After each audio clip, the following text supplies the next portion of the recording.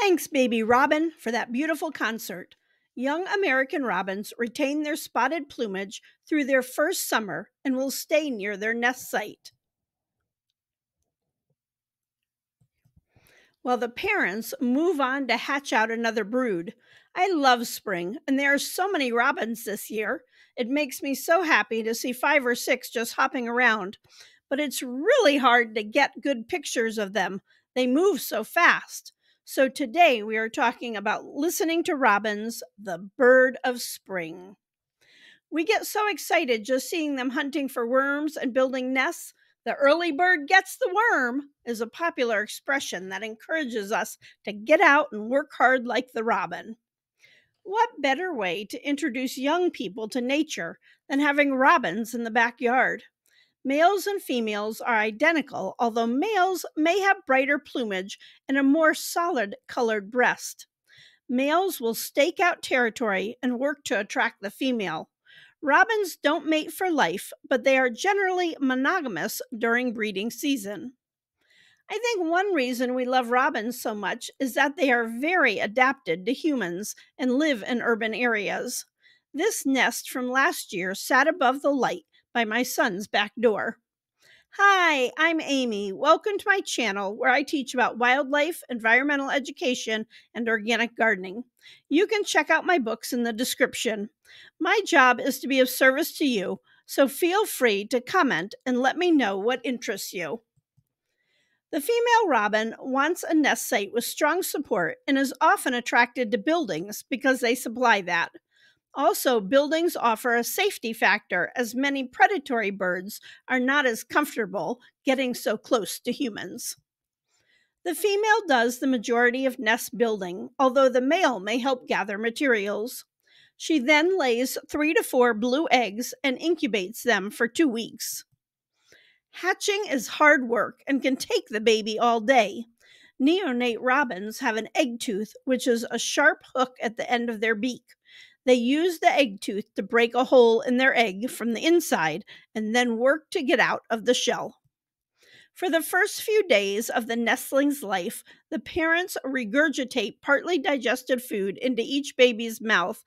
At around four days old, the parents break up worms and caterpillars into small mouthfuls.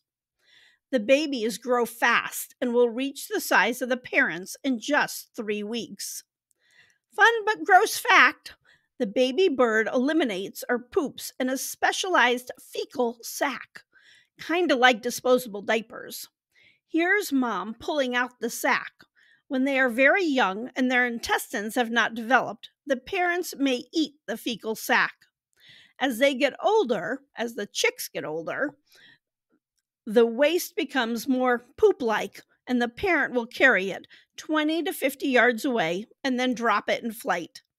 By the way, this is a song thrush, which is a cousin to the robin.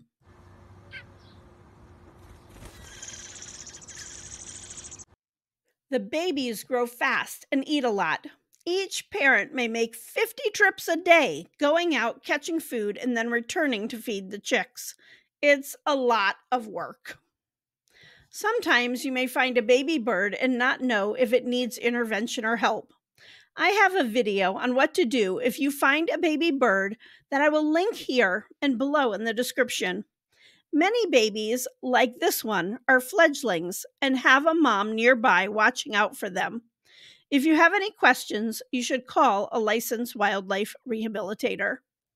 Another crisis that can happen with our songbirds in our yards is that birds can fly into glass windows and be stunned or killed. This happens because they see the reflection in the window and don't realize the glass is in the way.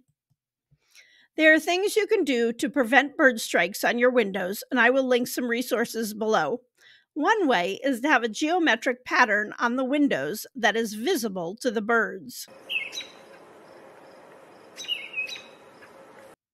Baltimore Oriole and American Robin chirping at each other Robins may interact with other bird species in your yard. Depending on if they are protecting a nest, robins may be aggressive towards other species. Yum! Robins are omnivores. In the spring, the bulk of their diet comes from invertebrates, earthworms, caterpillars, and grasshoppers. In fact, I love to see robins at my garden, but I'm always like, please get the caterpillars and not my earthworms. Vision is the main sense used when hunting food. However, they will use hearing and smell as well. If you mow and water your yard, you may have robins come visiting, hunting for the disturbed food sources. Robins also eat berries and fruits, like on this rowan tree. They love crab apples, service berries, and mulberries, all which can be planted if you want to attract them. If you are a gardener, you may need to protect blackberries and raspberries from songbirds, including robins. Robins, as wonderful as they are, do have a drawback. Like many songbirds, they are carriers of the West Nile disease. They pass it on to mosquitoes, which can then give it to us. Fortunately, according to the CDC, only one in five people who are infected develop a fever and other symptoms. Robins are widespread in North America, and the green is where they live all year long. Robins do migrate, but not like other birds. Birds like geese follow a definite north to south migration pattern. Robins have more variation in where they spend the winter, and males are more likely to remain in northern states than females. Cold temperatures don't hurt most birds as long as they have food. In the winter, robins are more likely to eat overwintering berries. They don't eat seeds like many other birds. Robins will eat suet, especially in winter when it's hard to find other foods. Suet is a good energy source for them. Mealworms and chopped apple can also be set out for robins. Like the American robin, the European robin is widespread across the continent. However, besides from their name, they don't have too much in common.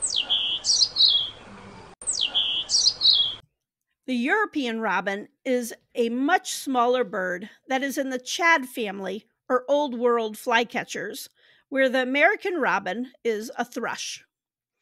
This robin received its English name during the Middle Ages so when European colonists came to America, they thought the American robin was a related bird.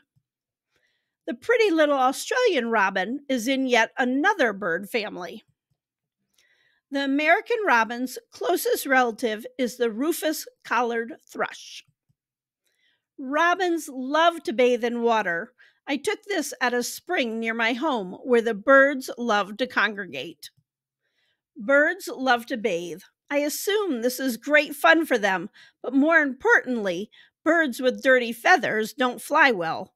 Bathing cleans the feathers and encourages preening, which distributes the bird's natural oils through the wings. This oil helps them to remain waterproof and insulate themselves in winter. Bathing also helps get rid of parasites. You can attract robins to your yard by installing a bird bath. Very important. Don't put a bird bath out in the open. Place it near bushes or trees so your songbirds have a place to escape and can feel safe.